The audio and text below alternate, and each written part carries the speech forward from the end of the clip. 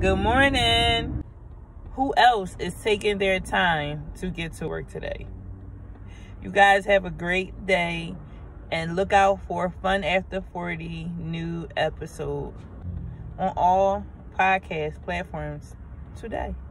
Have you heard about the book banning? I knew nothing about book banning until my children's book, The Unity Game and Our Funny Substitute Teacher, was challenged. The Unity Game and Our Funny Substitute Teacher is a book that I wrote to teach children about diversity, cultures, and the importance of unity. At the end of the book, there is a glossary. One of the words I defined was in question.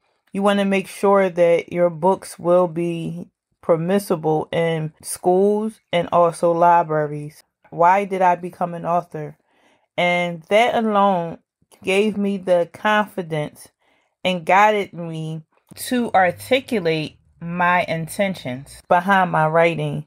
With that, there was a positive outcome. Continue to write from your heart.